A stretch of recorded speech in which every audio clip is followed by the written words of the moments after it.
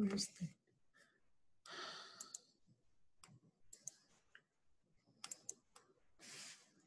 I have to get to you. I saw this. Hold on one second. No, I shouldn't sit down. That's why I don't sit down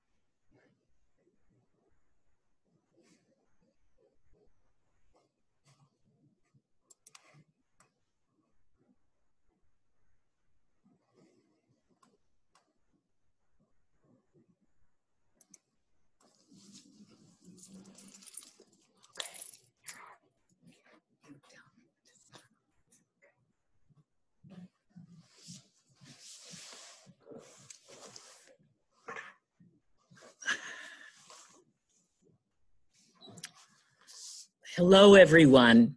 This is our seventh annual Lit Crawl and the first one hosted on Zoom.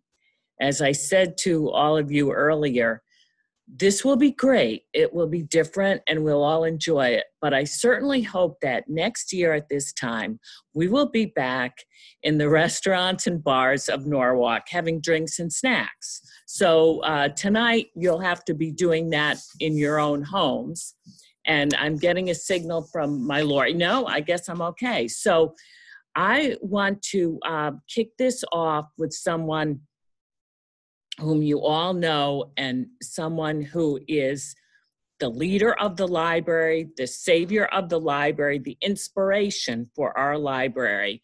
And that person is Alex Knopp. And he will give you our uh, official welcome. Alex? Ah. Well, thank you, Chris.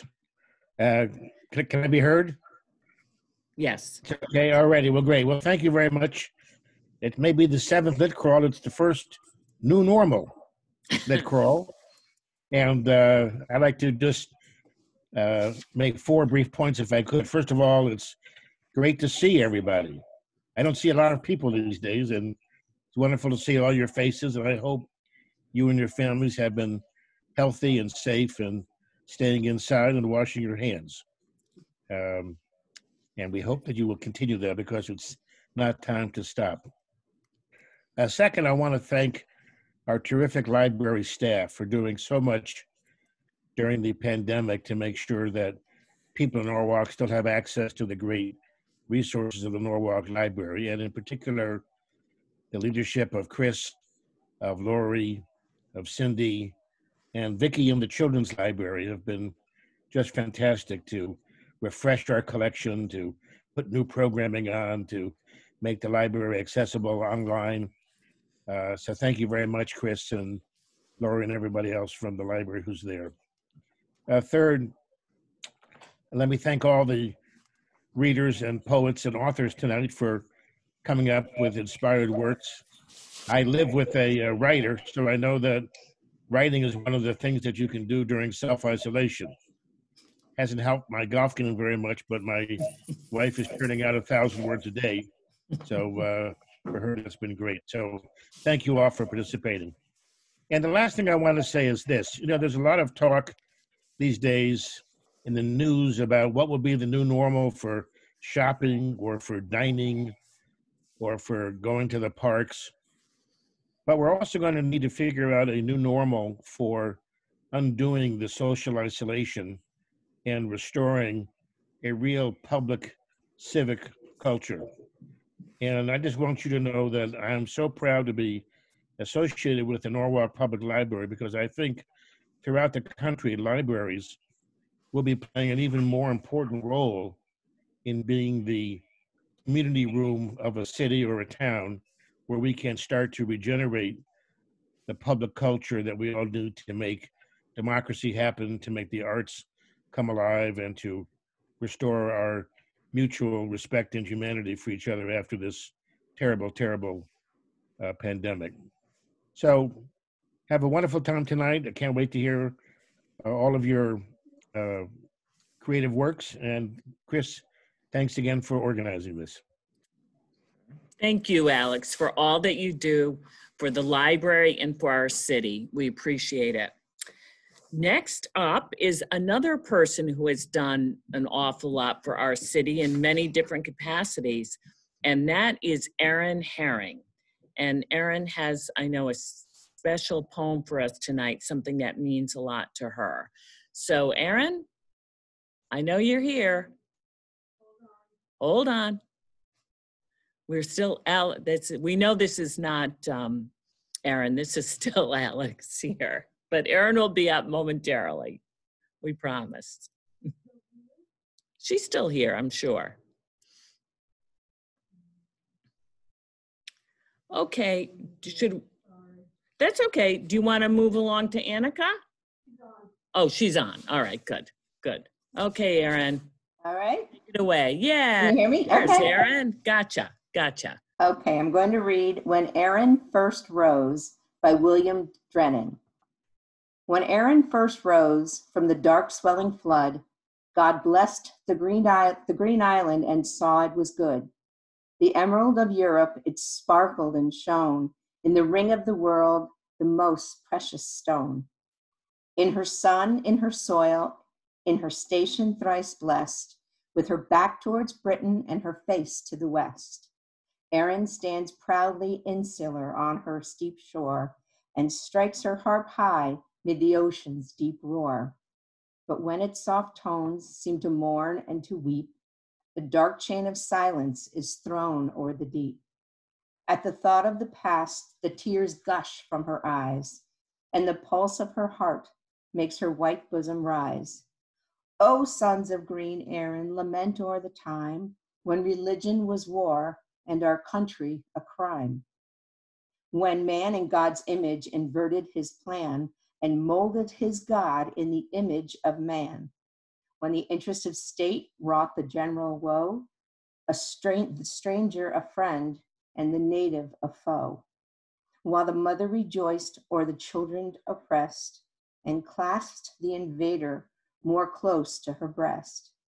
When the pale for the body and the pale for the soul, church and state joined in compact to concert to conquer the whole as in Shannon has, was stained with Milesian blood, eyed each other askance and pronounced it was good. By the groans they, that ascend from your forefathers' grave, for their country thus left to the brute and the slave. Drive the demon of bigotry home to its den, where Britain made brutes, now let Erin make men.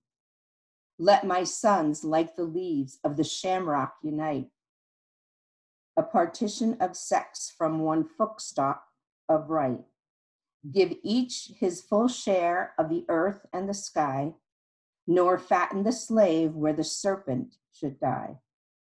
Alas for poor Erin, that some are still seen who would dye the grass red for their hatred to green. Yet, oh, when you're up and they're down, let them live. Then yield them the mercy which they would not give. Arm of Erin, be strong, be gentle and brave, and uplifted to strike, be still ready to save. Let no feeling of vengeance presume to defile the cause of or men of the Emerald Isle. The cause it is good, and the men they are true, and the green shall outlive both the orange and blue. And the triumphs of Erin, her daughter, shall share with the full swelling chest and the fair flowing hair. Their bosoms heave high for the worthy and brave, but no coward shall rest in that soft swelling wave. Men of our Erin, awake and make haste to the blessed. Rise, arch of the ocean and queen of the west. Thank you very much.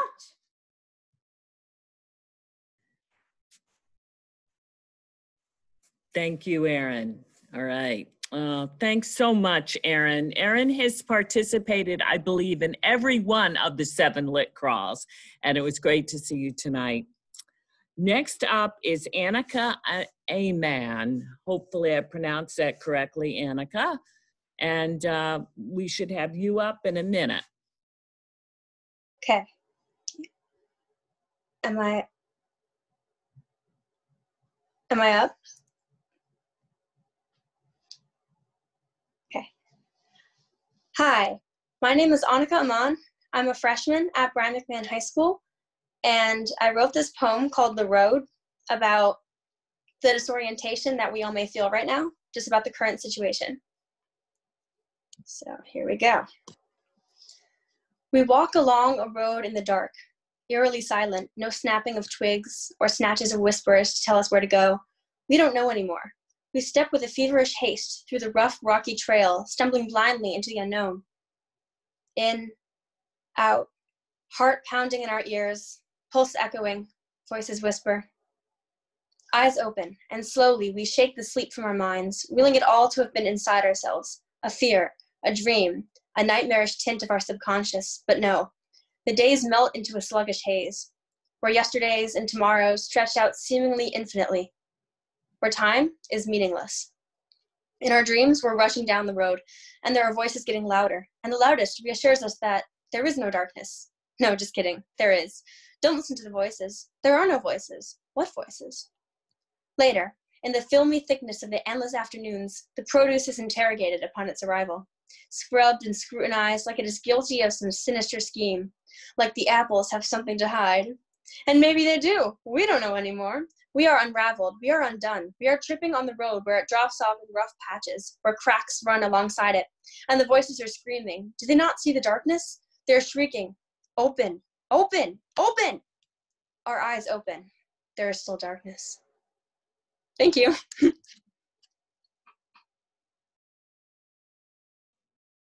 Thank you so much, Annika. What uh, this is a very good uh, scheduling here because you are certainly a credit to our public school system here in Norwalk.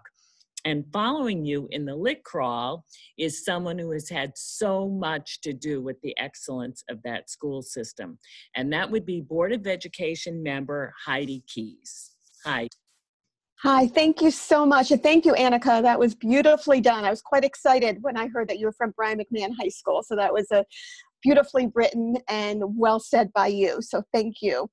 Good evening, everyone, and thank you for having me again come this year. I hope everyone is safe and well.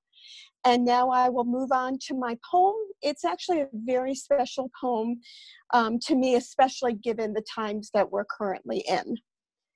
The name of the poem is called After a While by Veronica A. Shoffstall. After a while, you learn the subtle difference between holding a hand and chaining a soul and you learn that love doesn't mean leaning and company doesn't always mean security. And you begin to learn that kisses aren't contracts and presents aren't promises. And you begin to accept your defeats with your head up and your eyes ahead. With the grace of a woman, not the grief of a child. And you learn to build all your roads on today because tomorrow's ground is too uncertain for plans, and futures have a way of falling down in mid flight. After a while, you learn that even sunshine burns if you get too much, So you plant your own garden and decorate your own soul instead of waiting for someone to bring you flowers. And you learn that you really can endure, that you really are strong, that you really do have worth. And you learn and you learn. With every goodbye, you learn. Thank you. Wonderful, Heidi. Thank you so much, Heidi. I, I've always enjoyed what you've read for the lit crawls, and this one certainly was tops. Next up is someone else who has had a lot to do with education in Norwalk and was educated in Norwalk, and that's the library's very own Cindy Leahy. Cindy? Nope. Yikes. Cindy?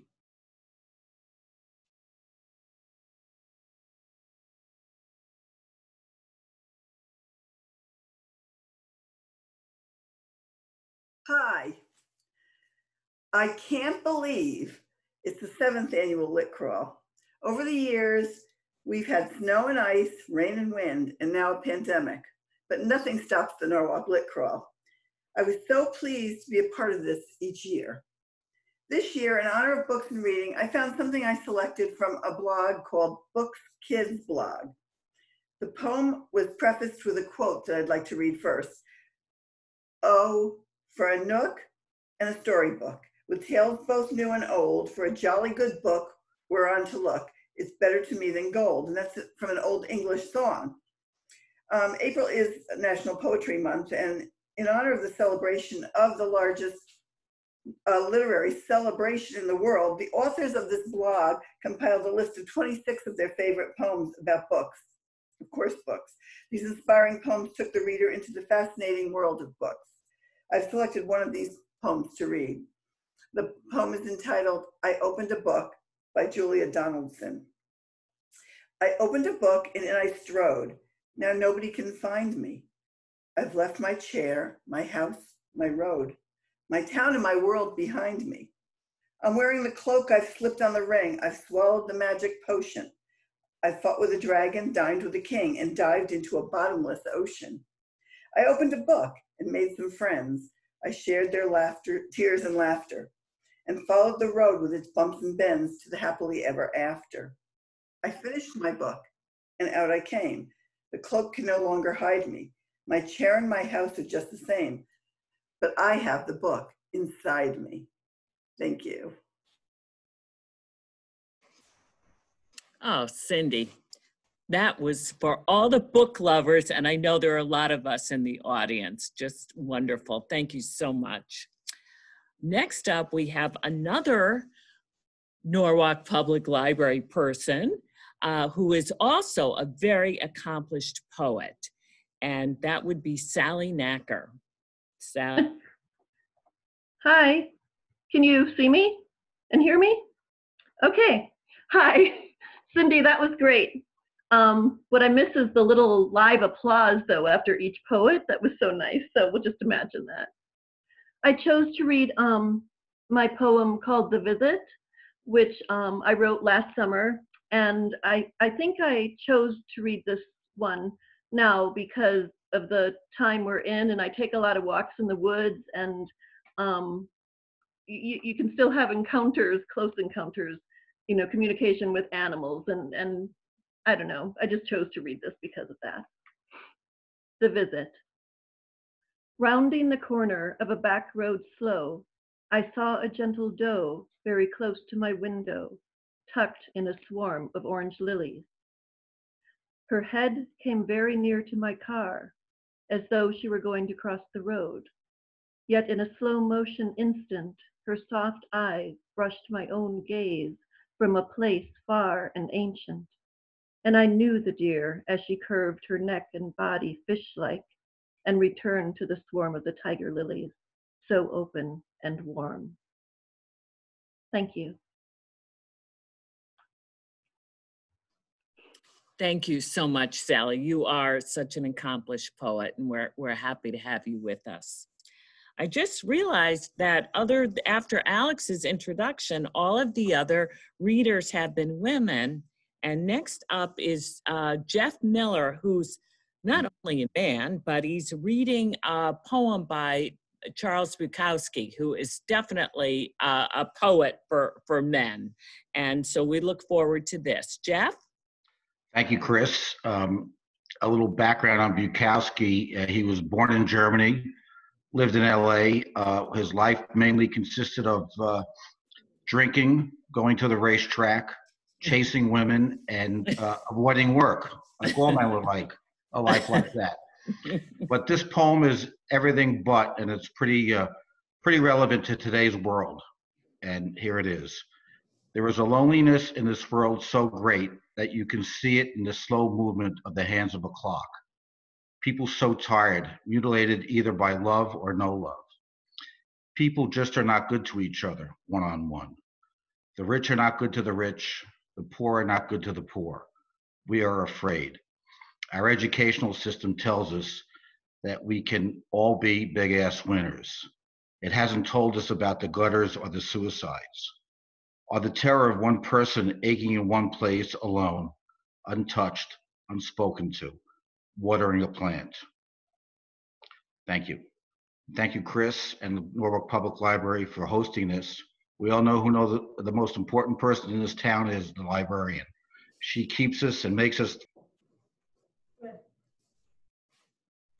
Jeff, thank you so much. And uh, you will be followed by another man, another gentleman, Wayne Lysobey. And uh, Wayne, I'm afraid, has been having problems with his video, but thank goodness not with his audio because this is a poetry reading. So Wayne, uh, we will see, probably see your name and at least we can hear your poem. Thank you.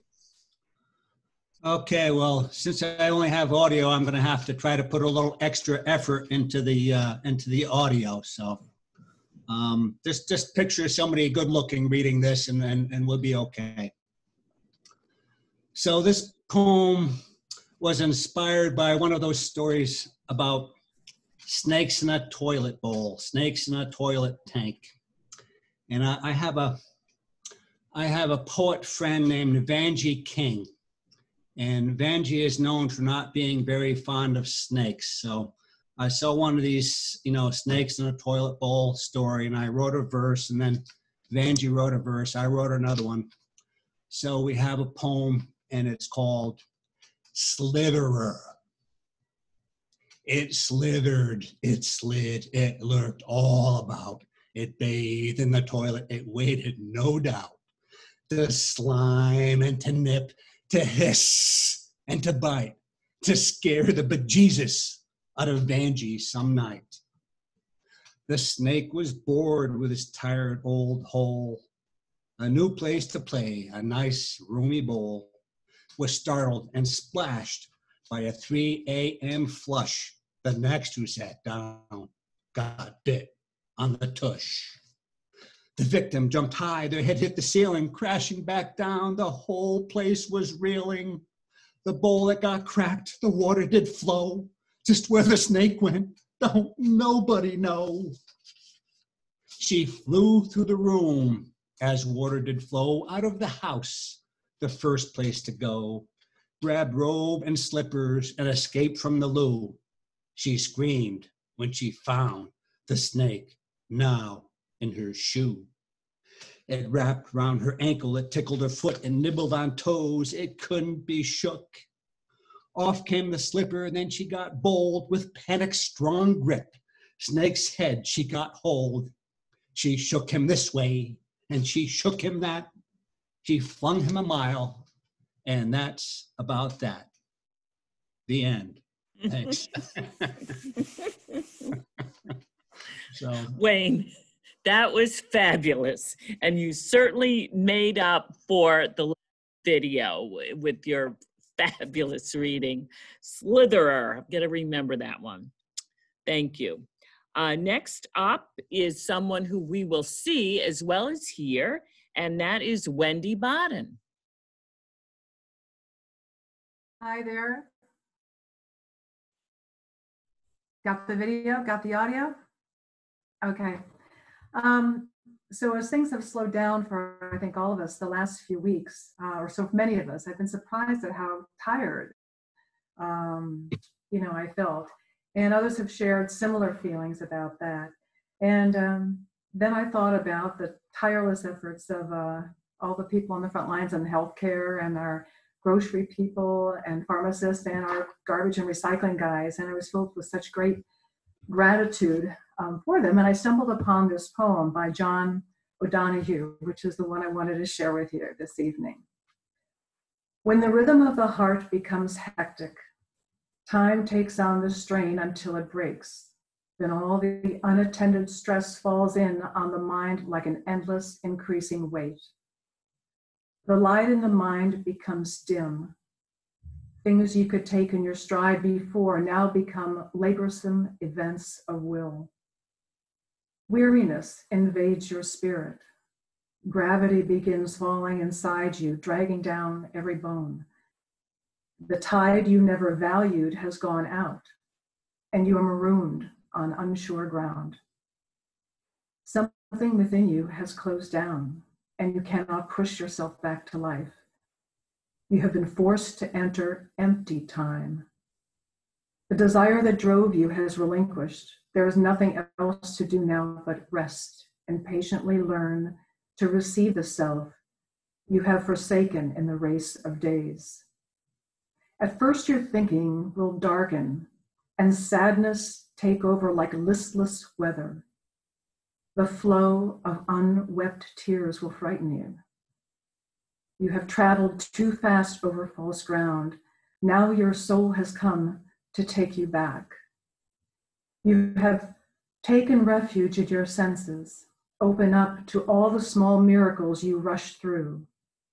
Become inclined to watch the way of rain when it falls slow and free. Imitate the habit of twilight, taking time to open the well of color that fostered the brightness of day. Draw alongside the silence of stone until its calmness can claim you. Be excessively gentle with yourself. Stay clear of those vexed in spirit. Learn to linger around someone of ease who feels they have all the time in the world. Gradually, you will return to yourself, having learned a new respect for your heart and the joy that dwells far within slow time. Thank you. Wendy, that was really just what we need at this point when many of us are a little bit at the end of our ropes. And uh, thanks for bringing us back to what's important. Uh, next up will be Gregory Payne. Gregory? So, um, sorry. so I don't know if you uh, remember last year's event or not, but for some reason there were all these poems about dogs. So I decided to read a poem about a dog. So dogs these days, of course, are helping us to get through this pandemic since they're our constant companions. Uh, in fact, they're having the time of their lives uh, since we're always home with them. So this poem by Cheryl, uh, Sharon Olds, Double Ode for Hazel, is very sad and hilarious in equal measure. It's a bit long and I apologize for that, but it's two two poems sort of put back to back and I'll I'll pause a bit after the first part. So double ode for Hazel. She carried rain into the house. She shook herself, and in a circle around her she rained. She carried in snow in knobs in her comb honey coat, knots which she heated and melted. She dropped herself down by the stove, domestic percussion of her bones on hardwood, and steamed. And she carried her panting out of the house, and it entered the local wind as mist. All this done not by her will, but done by her.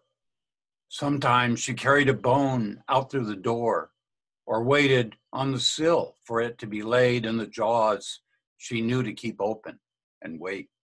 She carried, she was, a devotion beyond my measuring, which traveled dawn to dusk to dark, one way and then another, over the sill of her dwelling, where her beloved, her ruler, commanded the clang of the metal can which held her meals, and which, when it was opened, rang like an aluminum gong. And in the woods, she would chase food which lived. She would dig and nose for it. And when he said her name, she would, reluctant, desist and follow ahead or behind. Sometimes, when she needed to go out, she would rear up like a long haired, sun colored pony at the door.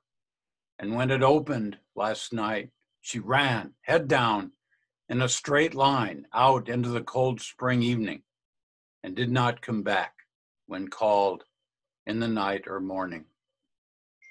Now, somewhere on her native ground, are her elements being returned to it, or her breath, her spirit, to the air we will breathe now, looking for her, wand passed in and out of the house, Hazel, light of the home.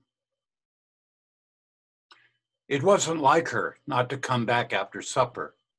He leaned out the door and called, and the lack of those sounds of her beginning to run to his voice. At first, a few hairs of sound, like a low breeze, plume of a tail along a bush, paw on beech leaf, was eerie, like an illusion.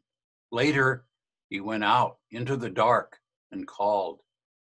Just that morning, he had showed me the picture of her late mother, the English shepherd, so ferocious people laughed in wonder when her name comes up. In the photo, she was lying regal, the black pups of her litter sucking, the one, amber one, not visible. Probably under the others, he said. He chose her because she had the most intelligent, submissive nature. Hazel, he called into the night. We sat by the fire reading, and the room wasn't itself. And though he dismissed it, there came into my mind a picture of her as I had never seen her, lying down near one of the trails, not on the path of pressed cones and leaves and moss, but on a rougher bed of twigs and needles and lichen and flecks of quartzite from granite and in the vision she did not stir, she who is the soul of stirring. I dismissed it, but I had seen it as if she were beginning to return into the earth. I don't know when he thought to check the Jeep. He had not taken her out in it. But when he opened its door, there she was, all curves of butter coat, curvetting with joy to see him. Trained by him not to bark, except at intruders, she'd remain quiet in the car when we'd stood just yards from her, calling her name. As I ramped my hands in her loose, luxurious pelt, it was as if I could feel the sweet chance of her livingness, as if her elements had begun to be dispersed and then flew back together to create this being of devotion, his longest his golden companion. There you are. Death and resurrection in one poem. Okay. Greg, thank you so much. And uh, yes, dogs are definitely having a moment with all their owners home and walking them all the time. So very appropriate to uh, for that to read that poem tonight. Next up will be Stuart Garlick, a great friend of the library and uh, doctor turned writer um, and a great friend of the Immigration Coalition and many other things. I don't know what Stuart's reading tonight, but I look forward to it. Stuart? Thank you, Chris. Good evening. In my younger days, many of us who subscribed to Playboy magazine would try to argue that there was quality content in there above and beyond the centerfold playmates. I would give as evidence from my side the cartoons, illustrations, and poetry of one Shel Silverstein. Shel was an award winning children's book writer, a cartoonist, an illustrator, a playwright, a poet, and a songwriter. He won two Grammys, one for writing the lyrics to Johnny Cash's hit record, A Boy Named Sue. This evening, I'd like to share with you a few of his whimsical short poems. The first is entitled Happy Ending. There are no happy endings. Endings are the saddest part. So just give me a happy middle and a very happy start. The second is entitled Us. Me and him, him and me, we're always together as you can see. I wish he'd leave so I'd be free. I'm getting a little bit tired of he. And he may be a bit bored with me. On movies and ladies, we cannot agree. I like to dance, he loves to ski. He likes the mountains, I love the sea. I want to sleep, he has to pee. He's meaner and duller and fatter than me, but I guess there's worse things we could be. Instead of two, we could be three me and him, him and me. The next is written with alternate lines and parentheses, illustrating a conversation between two people. It's called Just Me, Just Me. Sweet Marie, she loves just me. She also loves Maurice McGee. No, she don't. She loves just me. She also loves Louise Dupree. No, she don't. She loves just me. She also loves the willow tree. No, she don't. She loves just me. Poor, poor fool, why can't you see? She can love others and still love thee. And finally, don't change on my account. If you're sloppy, that's just fine. If you're moody, I won't mind. If you're fat, that's fine with me. If you're skinny, let it be. If you're bossy, that's all right. If you're nasty, I won't fight. If you're tough, that's just you. If you're mean, that's all right too. Whatever you are is all okay. I don't like you anyway. Thank you. Good evening. Stuart is got the best sense of humor and the best New York accent. Thank you so much for sharing it. Next up is a newcomer to Lit Crawl from our neighboring uh, town of Westport, and that's Catherine Schneider. Welcome, Catherine. Oh, um, actually, I'm from right here in Norwalk. Don't worry, don't worry. No, no, no big deal. No big deal. um, that's okay. I'm I'm I'm from here in in Norwalk, um, and um, you know, recently my book was just published, uh, so I'm really excited about that. It's called "I Used to Remember the Story of How." Anyways, uh, tonight I'll be reading for you a poem called "Small Stray Rocks." Um, it evokes some of the you know uh, our, our, beach landscape here in coastal Connecticut.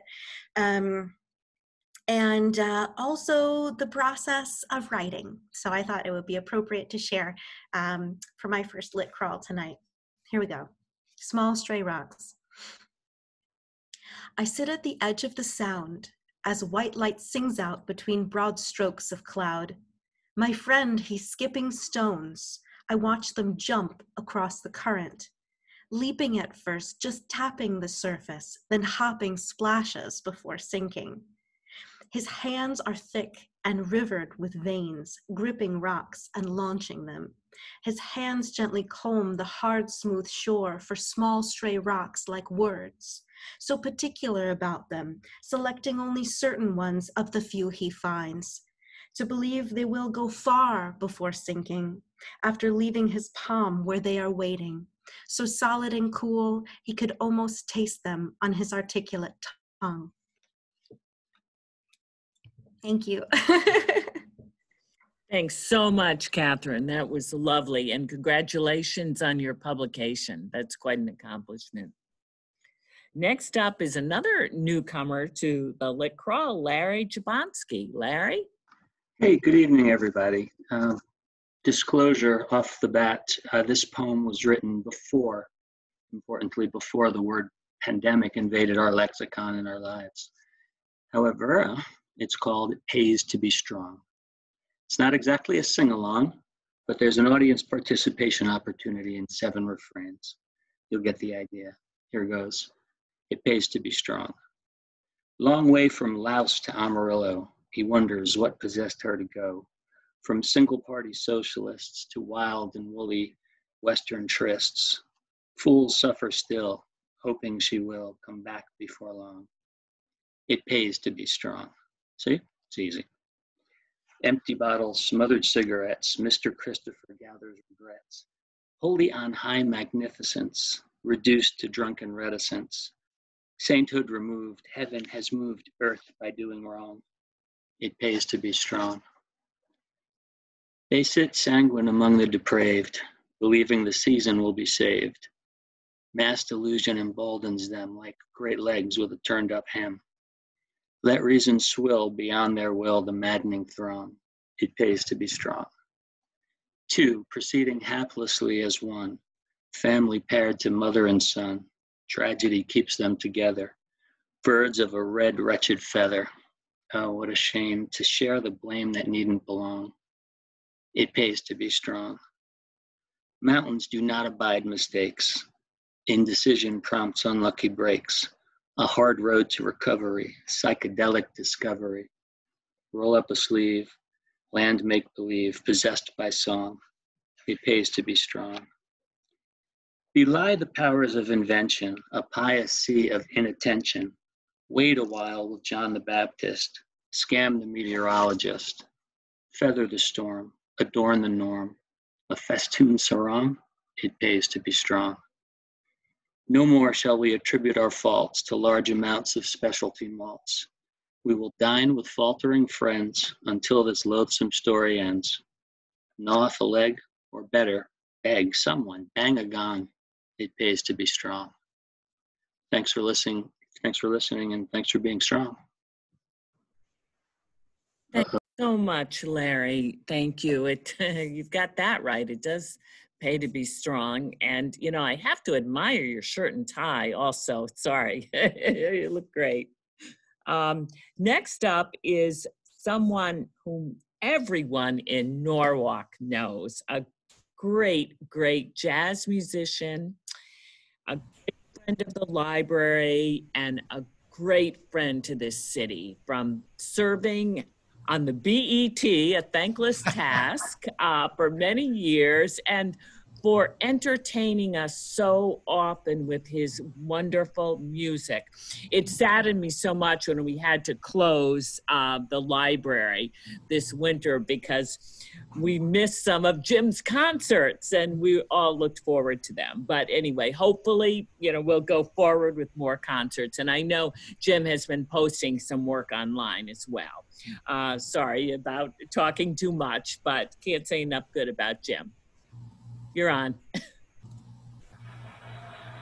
That's for all. You can you hear that applause? That was for all you poets and poetry lovers.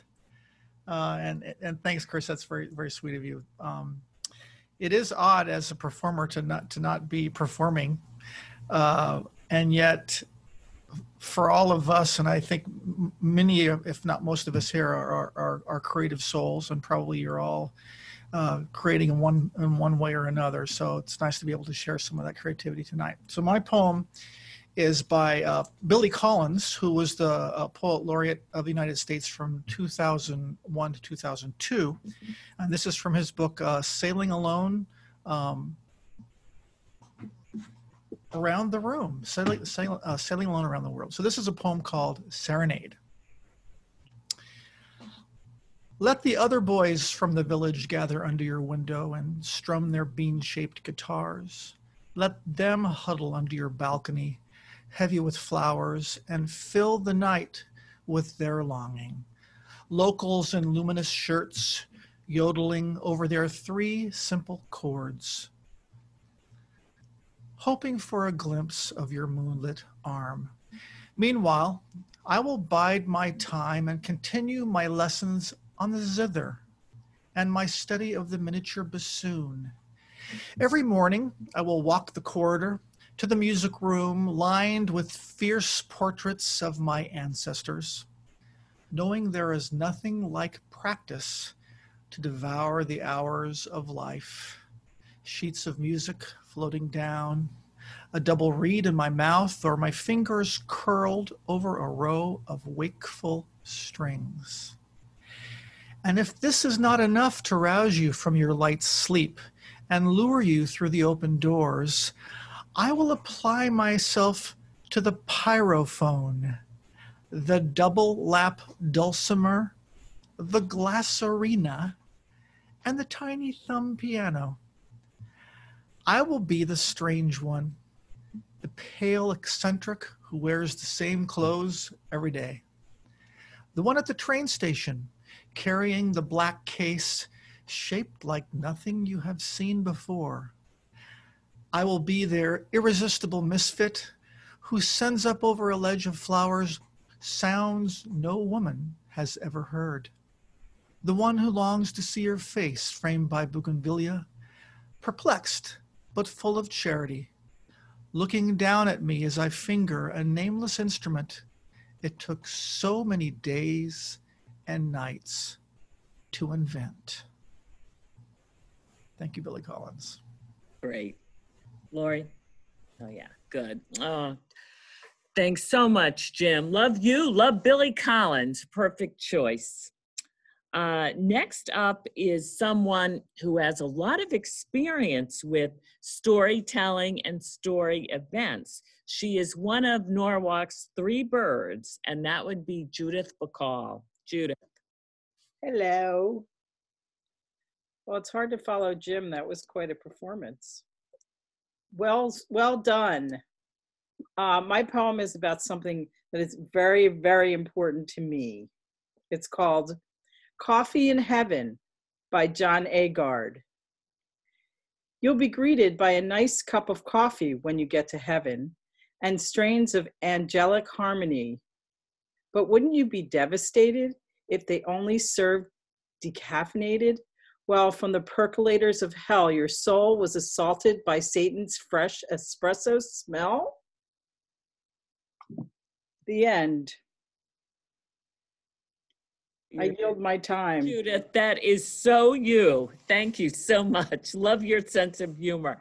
And remember when David Letterman came back from his heart attack and talked about decaf, the coffee they serve in hell? Wonderful. Thank you. Next up, we have Janet Nazarian. And Janet has a special treat for us because it's by a poet whom we all know or we all remember, and that would be A.A. Milne. Janet, thanks so much for joining us. Am I on? Hi, everyone. Uh, it's Janet from AFC Urgent Care. I miss everyone, and I miss all our fabulous live Norwalk events. Hopefully, we'll all be able to be together in person soon.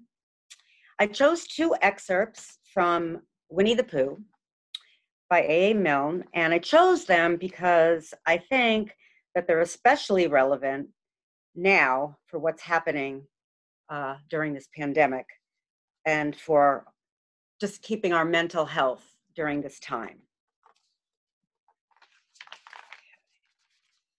The first one Piglet, said Pooh. Yes, Pooh, said Piglet. Do you ever have days when everything feels not very okay at all? And sometimes you don't even know why you feel not very okay at all. You just know that you do. Piglet nodded his head sagely. Oh, yes, said Piglet. I definitely have those days. I really didn't know that, Pooh, in surprise. I would never have thought that you always, because you always seem so happy and like you have got everything in life all sorted out. Ah, said Piglet. Well, here's the thing there are two things that you need to know, Who? The first thing is that even those pigs and bears and people who seem to have got everything in life all sorted out, they probably haven't actually. Everyone has days when they are not very okay at all. Some people are just better at hiding it.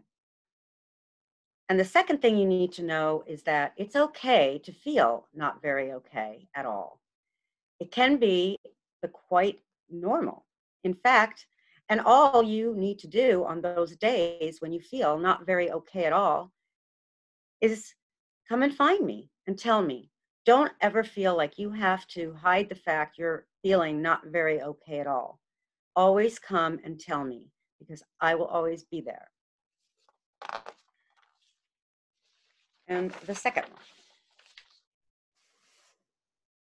It occurred to Pooh and Piglet that they hadn't heard from Eeyore for several days. So they put on their hats and coats and trotted across the hundred acre wood to Eeyore's stick house. Inside the house was Eeyore.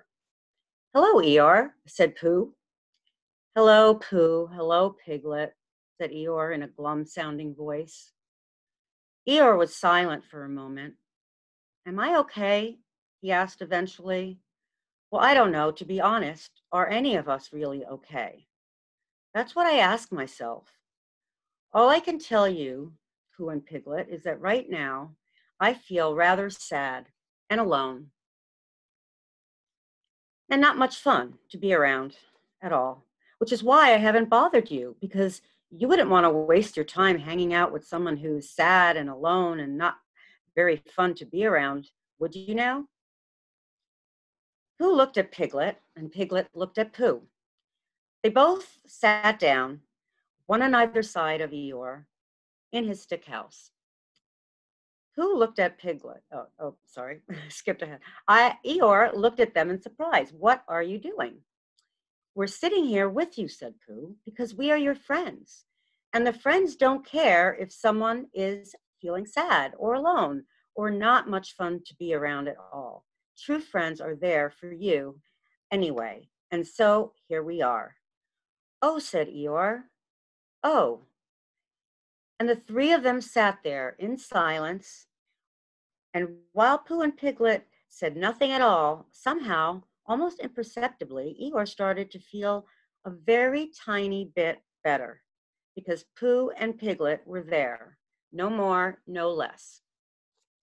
Thank you, everybody. And I hope you all stay safe and healthy. Oh, Janet, thank you so much. Uh, friendship, yeah, that's just what we need to rely on now, even if it's only virtual as we're all doing tonight. Thanks, Janet. Janet's also someone who's been with Lit Crawl from the beginning, and we appreciate that. Next up will be Marla Sterling. Marla. Hi, I'm thrilled. This is my first lit crawl, and uh, so I'm really excited to be here. And um, I've chosen a poem that I wrote. I'm, I'm pretty new to poetry, but uh, it seemed to me like a good time to trot this one out. It uh, reminds me of a vacation I have with a friend. We always go out to the West Coast where she lives, and the weather is always bad. So this is the poem that reminds me of that, but I think it really has to do with what's going on with us today. Bad weather walk. The report, clouds, rain. Camouflage poncho, layered over layers. Backpack hunched, slog to a damp trail. It smells extravagantly of life. Kaleidoscope droplets transform slim twigs Water dances from silvered drips. Liquid blessings from treetops plunk a slowing hood tattoo. Till blue begins, warmth and smile. Clouds become mere fluff. No longer chrysalis, you pierce your poncho, unfold in sunshine, dry, and then fly on. Thank you. Thanks so much, Marla. Very appropriate, uh, as you said. We appreciate that. And now we're on to Deb Monaco. Hi, uh, my first time. Uh, so thank you for having me. Um, I decided to pick a poem that uh, one of um, I work in nursing homes and rehab centers, and I had a patient who had MS, and she had this poem hanging on her wall, and I it said author unknown, and I had written it down then, and I always remembered it. And I was cleaning up last week, and I found it. And I said, okay, this is what I'll be reading, and it's called the "Don't Quit" poem. So I thought it was appropriate for the time. She was very inspiring, and hopefully will inspire others. The don't, whoops, sorry, lost it. The don't quit poem. When things go wrong, as they sometimes will, when the road you're trudging seems all uphill, when the funds are low and the debts are high, and you want to smile, but you have to sigh. When care is pressing you down a bit, rest if you must, but don't you quit. Life is queer in it with its twists and turns, as every one of us sometimes learns. And many a failure turns about when he might have won had he stuck it out. Don't give up, though the pace seems slow. You may succeed with another blow. Often the goal is nearer than it seems to be a faint and faltering man. Often the struggler has given up when he might have captured the victor's cup.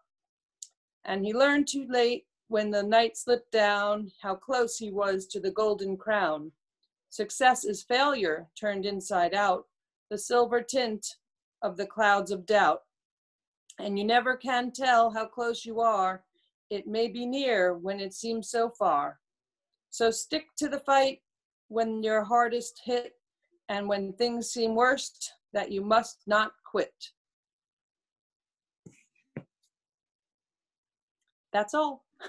I'm done. Mm-hmm. Oh. But I'm not I love that, Deb. I've always loved that. And, and you're right. That's kind of what we need right now. And congratulations to you on the on the work that you do. So important um, now more than ever. And welcome to the Lit Crawl. Thank you so much.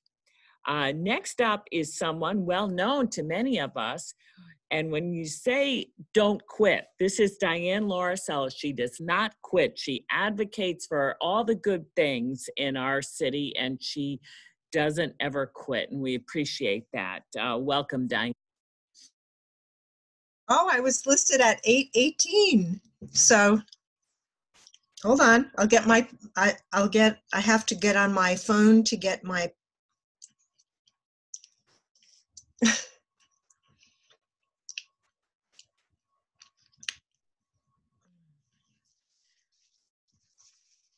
anyway, um, first of all, thank you uh, for inviting me to the Lit Crawl. Um, it's terrific, and I really miss my friends at the library, and I thank all of you for all you do in this time. It's it's really good to know we can go back one day.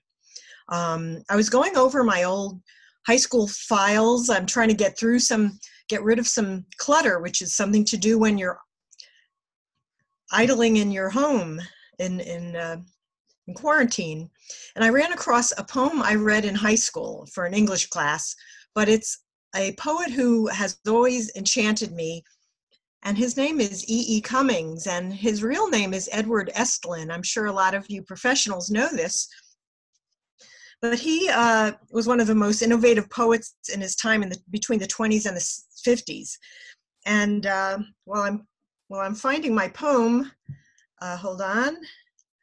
Here we go. Come on. Here we go. So um, anyway, he he was experimental. To he created like a distinct personal style, and I thought it was really interesting because, um, as some of you know, I like to create or be creative in my thought process and with solutions. And a typical uh, Cummings poem is like it's so spare and it's so precise. He employs just a few words, but he does so, someone has said, eccentric, eccentrically. Uh, he places words on the page, and I actually think he's a painter with words when you actually see one of his poems. Uh, one, uh, some of the words are invented. He revised grammar and linguistics and the rules, and he made avant-garde experimental poems attractive to the general public. So I thought that was pretty cool. Um, so the poem I'm going to read tonight is In Just Spring. It's my ode to Earth Day and the fact that we need some lightheartedness at this time. In Just Spring by E. E. Cummings. In Just Spring. When the world is mud luscious, the little lame balloon man whistles far and wee. And Eddie and Bill come running from marbles and piracies, and it's spring when the world is puddle wonderful.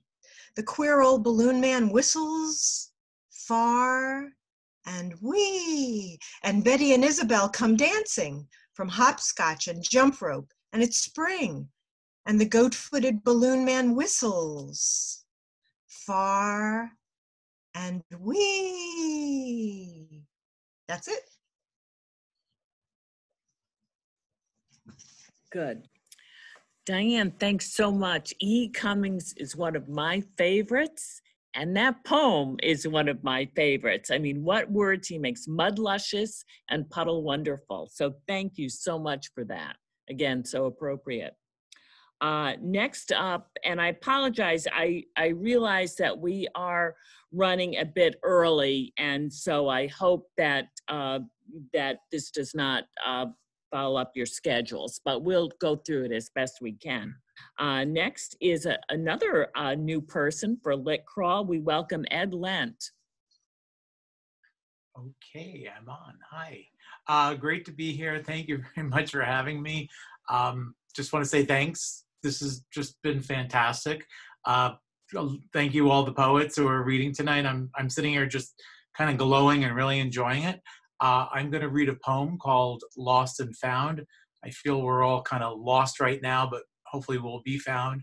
Um, it's from my book, uh, which I'm very happy about, as above, so below. Um, and I write under the name Ezra Lovecroft. So although my name is Ed Lent, uh, I write under Ezra Lovecroft. So didn't want to confuse everybody with that. Okay, uh, Lost and Found. There is something behind the eyes that can only be seen by those who have lived many lives. It's the memory of loss, the joy of discovery that combine to color the iris and give it a spin like marbled glass broken up by spaces in a spider's web. You can see it sometimes in the ancient eyes of old souls or Roman bronzes full figures and busts that clung to darkness below the sea in sunken wreckage, where they lay, staring, staring out from the muck, out from mucky haze on the ocean floor for millennia. Now, perched atop a fitting granite pedestal with polished ogee edge, intaglio place card, cool with air conditioning, bright man-made stars above, he has come to stand in the light beams and softly painted walls with even softer echoes. Schools of fish, now leagues of scholars and school children, stare back at you, swarm around your ankles. Thank you, and uh, thanks to the audience tonight for listening in. Thank you very much. Have a great evening, everybody. Great. Thank you, Ed. That was wonderful. Next up is Erin Kayata, who is our local newspaper reporter, and she's fairly new to um, not to newspaper reporting, but to our neighborhood, and she's doing a wonderful job. And she's also uh, reading the poem of one of my favorite poets, also Sylvia Plath. So, Erin, thank you. Uh, thanks so much, Chris. I am excited to be here. Um, I'm a reporter with the Norwalk Hour, but I'm here tonight as a literature lover, um, and I'm reading a poem, Mad Girl's Love Song by Sylvia Plath. Um, she's one of my favorite poets and authors, and this poem was published at the end of her first and only novel, The Bell Jar. I shut my eyes, and all the world drops dead. I lift my lids, and all is born again. I think I made you up inside my head. The stars go waltzing out in blue and red, and arbitrary ba- blackness gallops in. I shut my eyes, and all the world drops dead. I dreamed that you bewitched me into bed, and sung me moonstruck, kissed me quite insane. I think I made you up inside my head. God topples from the sky, hell's fires fade, exit seraphim and Satan's men. I shut my eyes, and all the world drops dead. I fancy you'd return the way you said, but I grow old and I forget your name. I think I made you up inside my head. I should have loved a thunderbird instead. At least when spring comes, they roar back again. I shut my eyes and all the world drops dead. I think I made you up inside my head. Great. Uh, Erin, thank you so much. She, we lost her way too soon, didn't we? So, yes. so much for joining us. Uh, next up, um, again, we have a voice without a face, and she has a lovely face, so that's too bad. But Marcia Whitman is joining us now, and we'll. Oh no, there she is. There's her, her, Marcia. Oh, good. Okay. Okay. Take it away. Take it away. Well, good evening. I'm the third person who is new to Lit Crawl this year, and I am also um, I'm going to read from my new book entitled Holding the Body Back, um, which was published in January. And the first poem is um, two short poems um, I would like to read is a Connecticut scene called Winter Vegetables. At the Morgan Horse Farm in Bloomfield, where for room and board I did the morning stable chores, my landlady, Helen French, kept one acre planted with vegetables for every season. From asparagus to winter squash, the kitchen fogged with huge pots, boiling jars for the putting up of produce for the frozen months. Come January, reaching through the snow, she pulled the pale parsnips from their frosty mounds. In the kitchen, I set the table with its plastic checkered cloth it squeezed against the wall of faded paint and magazine clippings between stove and sink on cracked linoleum. She told me tales of driving one horse sleighs the 13 miles to Suffield in the years when snow paved the ground from December to March, trotting through slumbering tobacco fields to supper at the Congregational Church with its predictable offerings tomatoes, cucumbers, potatoes, beets, pickled and canned, boiled and baked. She flavored my imagination with sugar, salt, and smoke, all the while paring and steaming the parsnips, setting them alongside the simmering stew, pumpkin bread, strawberry jam, and succotash, serving up a midwinter banquet from the nourishing goodness of the year. And now something totally different called A Life in Idioms. I dodged the bullet, beat the odds, caught the cancer in time, a near miss. I barked up the wrong tree, missed the boat, got caught in the crossfires, lost my touch.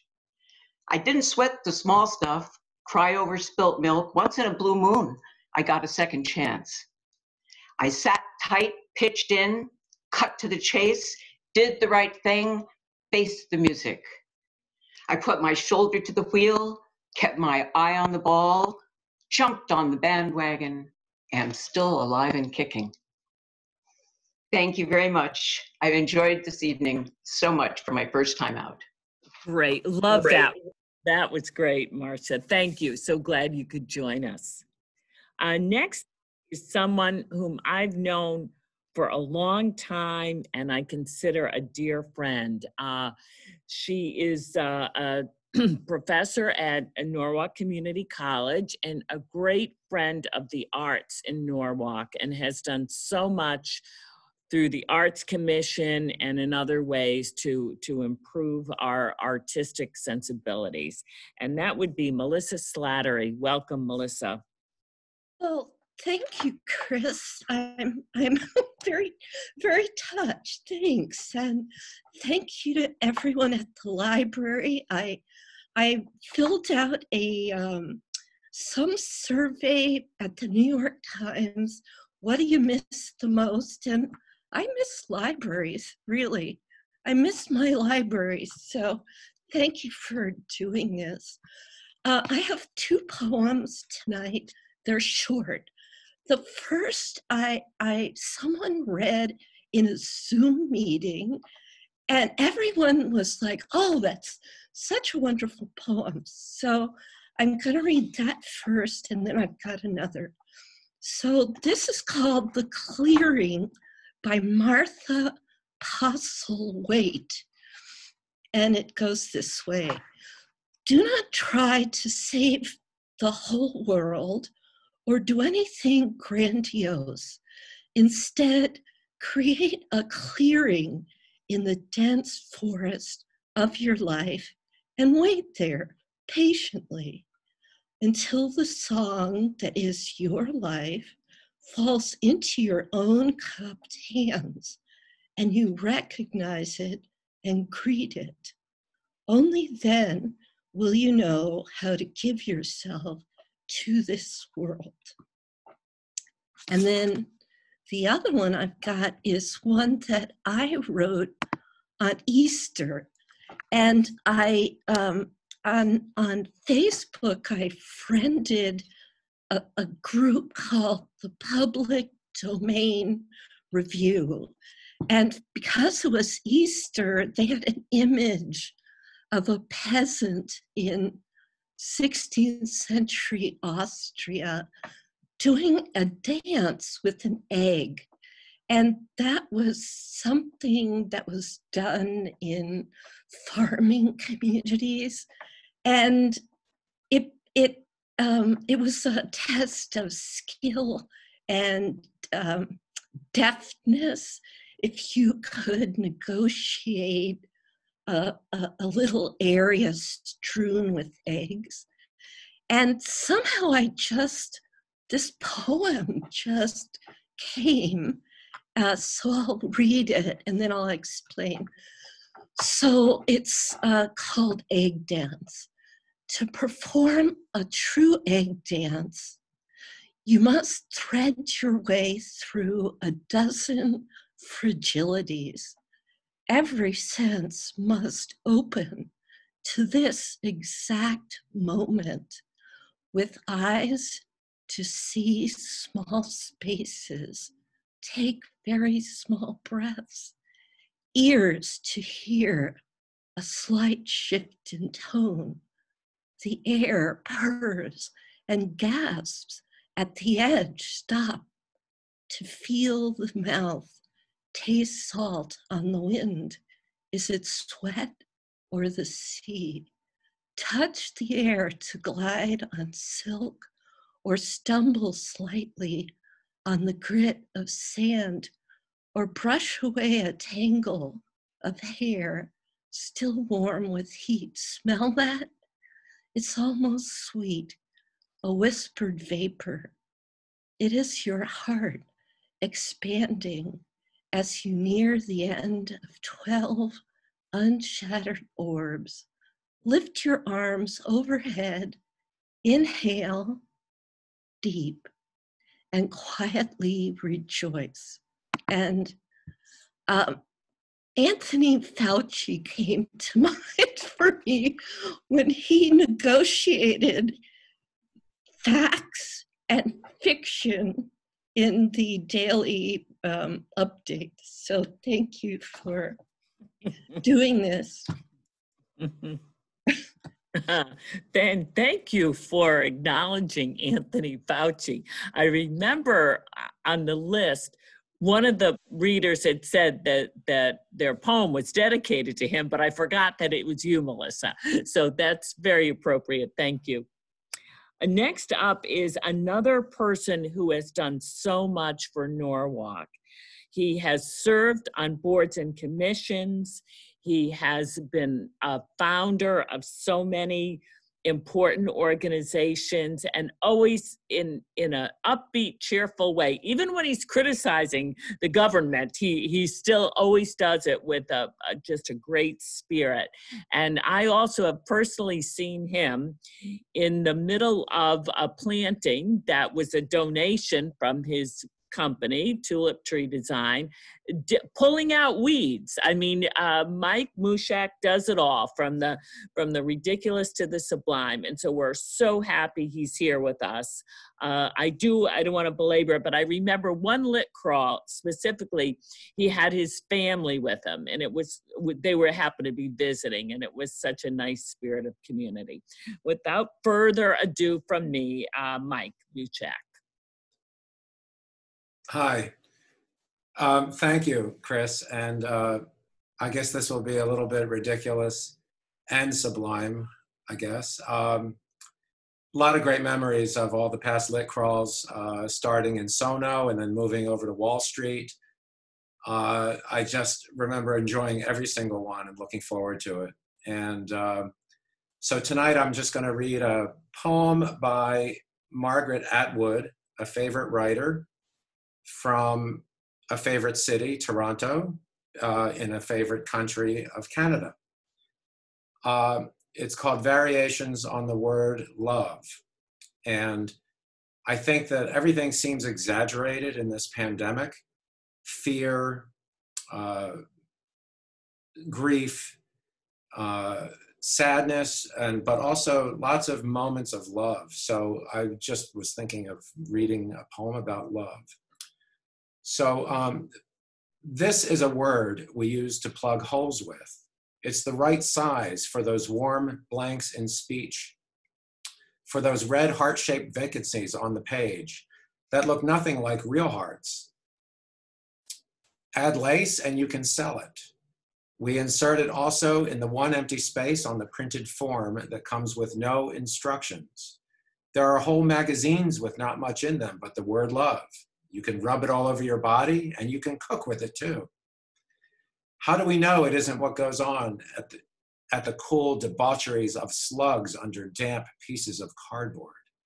As for the weed seedlings nosing their tough snouts up among the lettuces, they shout it. Love, love, sing the, sing the soldiers, raising their glittering knives in salute. Then there's the two of us, the word is far too short for us. It has only four letters, too sparse to fill those deep, bare vacuums between the stars that press on us with their deafness. It's not love we don't wish to fall into, but that fear. This word is not enough, but it will have to do. It's a single vowel in this metallic silence, a mouth that says, oh, again and again in wonder, and pain, a breath, a finger grip on a cliffside. You can hold on or let go. The end. Thank you. Uh, thanks so much, Mike. Hold on or let go. Anyway, I next up is a dear friend of mine and of the libraries and of Norwalk's, Nettie Smith. I don't know if Nettie is oh he is here okay searching for nettie you know we're we're running early which is good but some people may be waiting but evidently nettie is with us. Nettie is a musician he's a writer he's a poet. What more can i say nettie? Take it away. Sorry nettie we'll get we'll catch you later.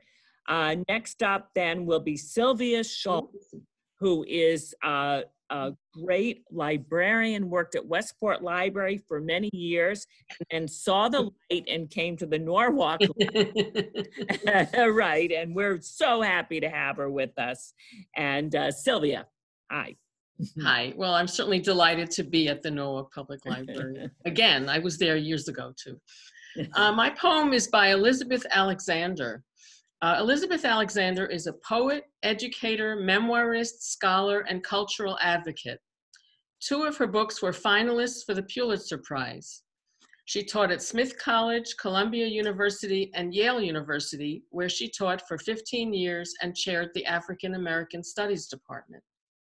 I will now read her poem, Praise Song for the Day, which she composed and delivered for the inauguration of President Barack Obama in 2009. Praise Song for the Day. Each day we go about our business, walking past each other, catching each other's eyes or not, about to speak or speaking. All about us is noise. All about us is noise and bramble, thorn and din, each one of our ancestors on our tongues. Someone is stitching up a hem, darning a hole in a uniform, patching a tire, repairing the things in need of repair. Someone is trying to make music somewhere with a pair of wooden spoons on an oil drum, with cello, boombox, harmonica, voice. A woman and her son wait for the bus. A farmer considers the changing sky. A teacher says, Take out your pencils, begin. We encounter each other in words, words spiny or smooth, whispered or declaimed, words to consider, reconsider. We cross dirt roads and highways that mark the will of someone and then others who said, I need to see what's on the other side. I know there's something better down the road. We need to find a place where we are safe. We walk into that which we cannot yet see. Say it plain that many have died for this day. Sing the names of the dead who brought us here, who laid the train tracks, raised the bridges, picked the cotton and the lettuce, built brick by brick the glittering edifices they would then keep clean and work inside of. Praise song for struggle, praise song for the day, praise song for every hand lettered sign, the figuring it out at kitchen tables. Some live by love thy neighbor as thyself, others by first do no harm or take no more than you need. What if the mightiest word is love? Love beyond marital, filial, national. Love that casts a widening pool of light. Love with no need to preempt grievance. In today's sharp sparkle, this winter air, anything can be made, any sentence begun. On the brink, on the brim, on the cusp. Praise song for walking forward in that light. Thank you. Thanks. Thanks, Sylvia. Miss that guy. but anyway, thank you so much for reminding us of that wonderful day of his inauguration. Uh, next up is a poet and a publisher and a great friend, again, of Norwalk and of the Norwalk Public Library. And that would be Christopher Madden. Good evening, everyone. It's fun to see different faces. I've been teaching online, and I've talked to my students turning into zombies because they shut off their cameras and turn off their mics and play with their phones. So it's nice to see live people that are here voluntarily. Um, I'm going to read two poems, um, and uh, I'll not introduce one and I'll introduce the other. Uh, this is called Cubicle. In my old office, a coworker called home to sing to her dog at least twice a day in her operatic voice. It was distracting, odd, and rather troubling when we had clients on the phone, but also funny until the police came and enforced the restraining order against her. And only then, her makeup running down her face, did we learn the ex owned the dog. And it was as if her front wheel stopped and she went over the handlebars into quiet. Cubicle, back, back when I used to actually work with other people in, in other places. Um, and this is an orphan. I was thinking of things to read. I've, I've been writing during the pandemic, and all of my stuff is, is angry and depressing. Uh, so I found sort of an orphan poem that I don't think I've ever read before live, uh, or I may have, but uh, it's one I kind of forgot about. But it has nothing to do with anything, so I figured it'd be perfect for this evening. It's called The Joke Explained. I used to live in Hilarious. What a riot. Cheap rent, friendly neighbors, wheelbarrows full of belly laughs, and rows of yucks grew taller than corn in late summer. One liners and puns bloomed wild roadside, And folks stopped and picked them in bunches and played Forget Me Not. There was always a blizzard of flower petals soaking your skin, and eventually they dried and flaked off like sunburn.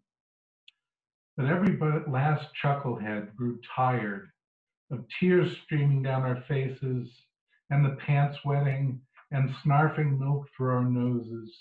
So we all left town, quietly ducking out on the bar tab and dispersing into the night.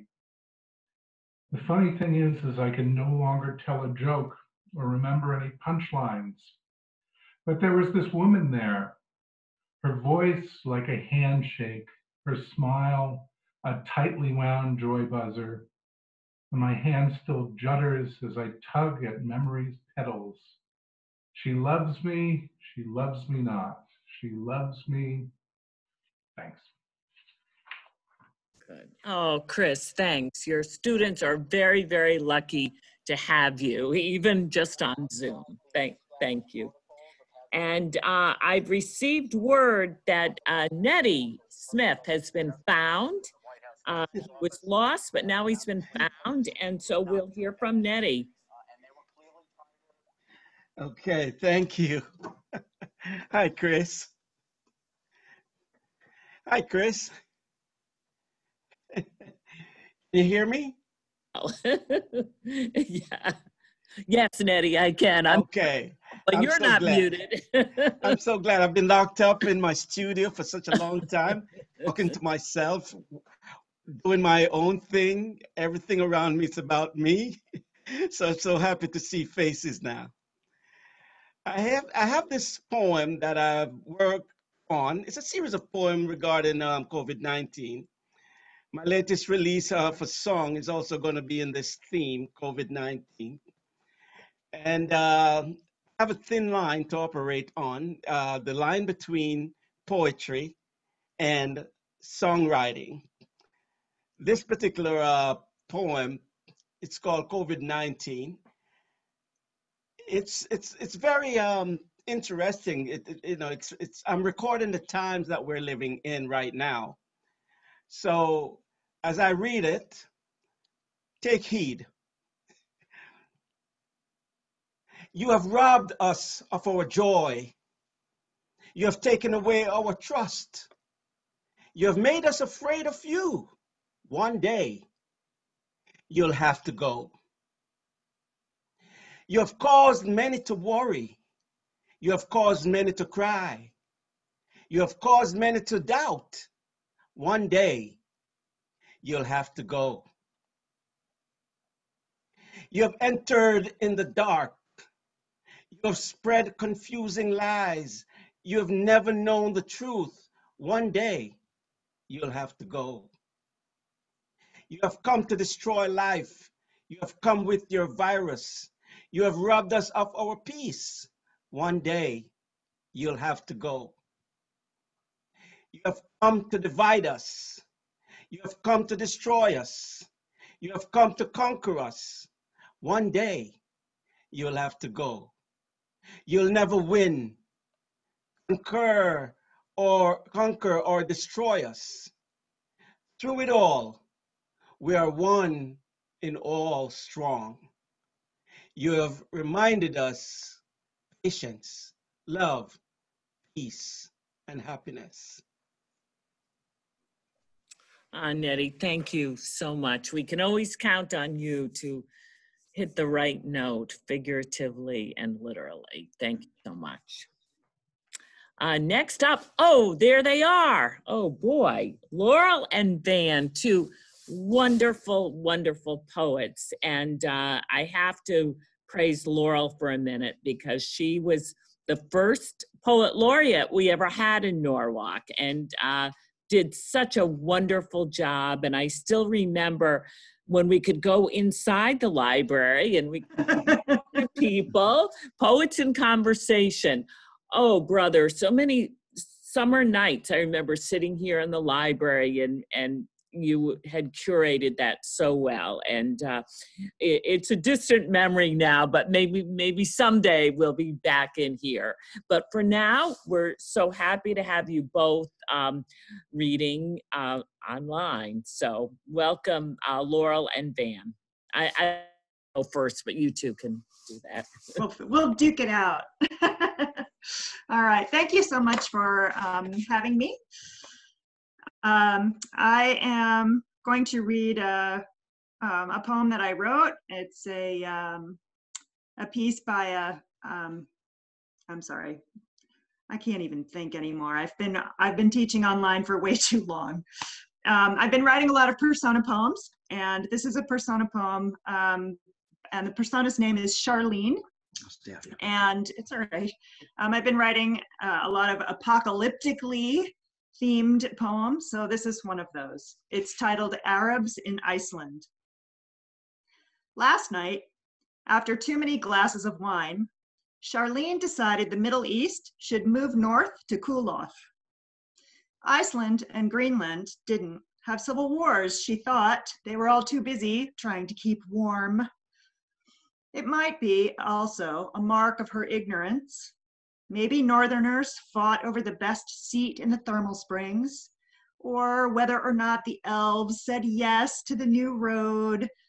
Conflict perhaps was inevitable.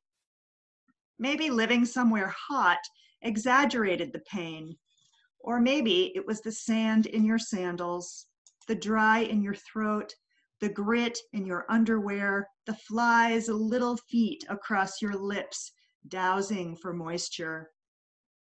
Three months of dark might create fewer bombings, but more suicides. Maybe everyone would huddle by their fires rather than setting them in the marketplace.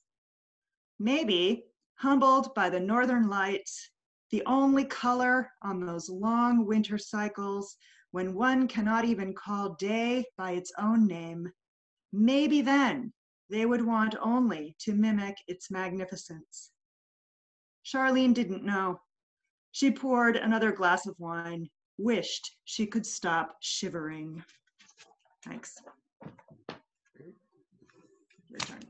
Okay. Thanks so much, Laura. Love your, I always love your work. Thank you. So this is Van. Uh, like Chris and Laurel, I'm teaching remotely from home. And in this uh, age of uh, stay at home, quarantine, remote learning, I'm learning to converse with birds. They're all coming out. I hear them everywhere when I walk and so forth. So this is called Thrush Song. And it has an epigraph uh, from uh, Henry David Thoreau. Thoreau wrote, Whenever a man hears it, he is young, and nature is in her spring. Whenever he hears it, it is a new world and a free country, and the gates of heaven are not shut against him. That's Thoreau, not me.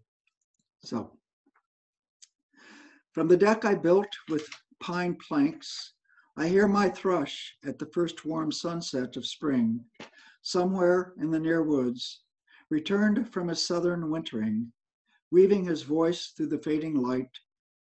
I call out with whistles and trills, mimicking his hypnotic melody in my thick human tongue. He warbles back, shifting pitch, answering me. I've never seen his russet back and wings, his white breast splashed with spots of brown, deep black eyes. He sees me, though, I'm sure, from the nest he's woven of grass and twigs taken from my yard.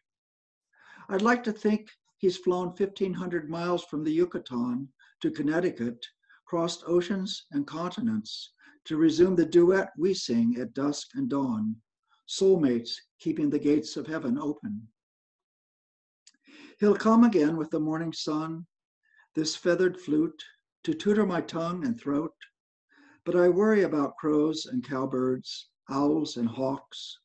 Worry his long migration, led by stars and magnetic fields, has left him depleted on this hot, damaged earth. Worry that the small forest to which he's returned has shrunk. No longer the new world and free country he needs to sing our song. I would set out berries and grubs, shield him from predators and usurpers, light his path with constellations for his journey each spring, to summon me back to my youth, to teach me the poem I must learn before winter closes our throats with snow. Thank you.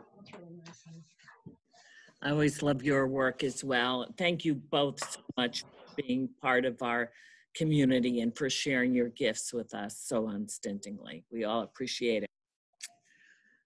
So next up, as luck would have it, we have our current poet laureate, Bill Hayden. And um, Bill has been ha- doing Zoom uh, for some weeks now with, with our local poets, and he runs a poetry workshop, and um, he's a fine poet himself. So here's our poet laureate, Bill Hayden. Greetings, everyone, and uh, uh, big kudos to all the readers and poets and uh, and writers out there who've contributed wonderful works all evening. Um, I want to uh, highlight uh, with a, with a, a visual before I start. It's a, a fairly short poem, so I have a minute or two. Uh, back in the end of December in, in 2019, remember that that year. We had a wonderful exhibit at the library called Art and Text, and one of those uh, paintings that was in it uh, was this one called Ode to My Dad. And I'm going to try to get it on the screen there where you can see it. I don't know how the light's coming through, but it's uh, a couple of guys hugging, and there's a bunch of tears there. I'm not sure how that comes through on a big screen, but hopefully there's at least a little bit of an image there you, you can see of the uh, the two guys hugging. Okay, so here's my poem. Starts off talking about that, and those of you who uh, are uh, aficionados of this form uh, know that that's uh, when you write about something, another type of work of art, when you write a poem about it, it's ekphrastic poetry writing. So some of this poem is, is ekphrastic based on that. It's titled New Year's Eve 2019 Goosebumps. Looked up at painting, two men hugging, huge tears, crystal blue and huge, like the poet's love for his dad through thick and thinner times, I swear I caved to see that parade of tears surrounding father and son's embrace. 'Twas then I felt goosebumps for the first time on New Year's Eve 2019. Later, around 6 p.m. or so, a crowd composed lists of last year's regrets on slips to burn. I heard no scribbling, but just the hushed volume of the church's high arched vaults, breathing room for gathered folk, ready to lose their slips. When a haunting melody my wife loved, 'twas Clair de Lune, brought goosebumps once again.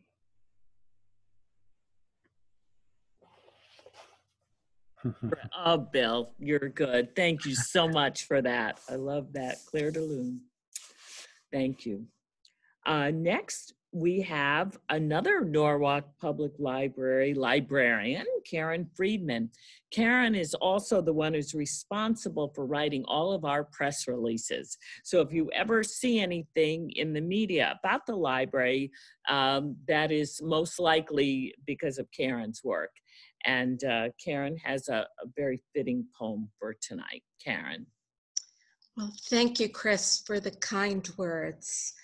Um, I selected to read the poem Still I Rise by Maya Angelou. And I thought it would be uh, fitting that we end tonight's wonderful program on a note of hope and courage. You may write me down in history with your bitter, twisted lies. You may trod me in the very dirt, but still, like dust, I'll rise. Does my sassiness upset you? Why are you beset with gloom?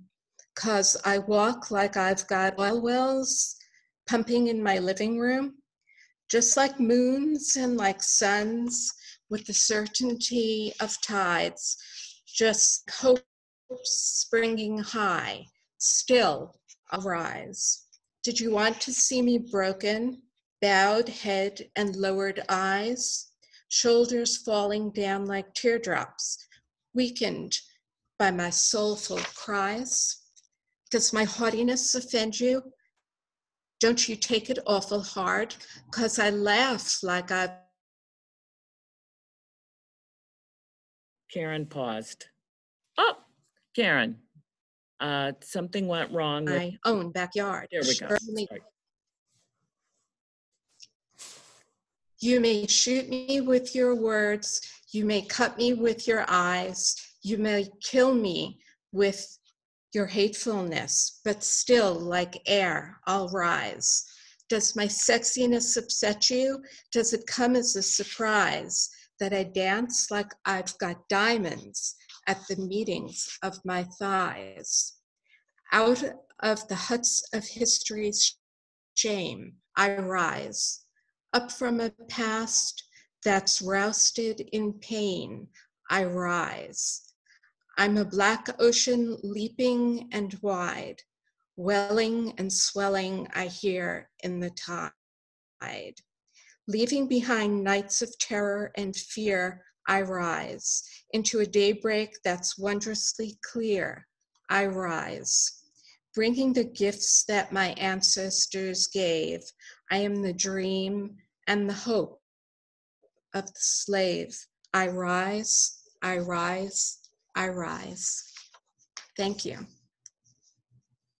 Oh, great. That's a wonderful, wonderful work, Karen. And I want you to know that another one of our readers wanted to choose that poem, but you had already taken it. Uh, thank you uh, so very much. We have one more reader in the queue, and that is Jose. Again, a newcomer to Lit Crawl, and we're happy to have him. Jose. There he is. Thank you very much. Um, as a matter of fact, I want to first of all say hello to uh, Bill Hayden and uh, and Nettie. I know them from Curly's. all right, and um, the piece that I'm going to write, I've been writing a sequel on on the virus. Uh, the first one was called Mass. The second one was Quarantine. Uh, this one in particular is uh, called Hold On, and I'm not going to tell you what the, the what the next one is. Wait for another time. But anyway, here goes. Hold on. Sitting at the window looking out where once was now. Scattered signs of life, not much more, and yet so much time to now begin to think. Wandering, remembering, contemplating what will come of yesterday, the hustle and the bustle. What will come of tomorrow, the fallout aftermath. What will come of today? Hopes and dreams splintered and dashed, ever quarantined, mind, body, and soul. Hugs and handshakes gone, indefinitely postponed. Say nay. Say nay to gone and just hold on. Recovery underway. New perspectives to explore with new options to embrace. The planet and all therein rejuvenating smog dissipating, easing global warming, people, places, and things realigning, reuniting. So just hold on, hold on. What good in mind and heart be still left? Do quarantine deep within, for hope's not lost. Tomorrow comes, just hold on. Hold on, with new dawn rising, big changes coming. Do beware and prepare for new dawn rising, big changes coming. Do beware, prepare, and hold on. Jose, thank you so much. I'm so glad that you joined us and your fellow poets, and we hope to see you next year as well. Thank you.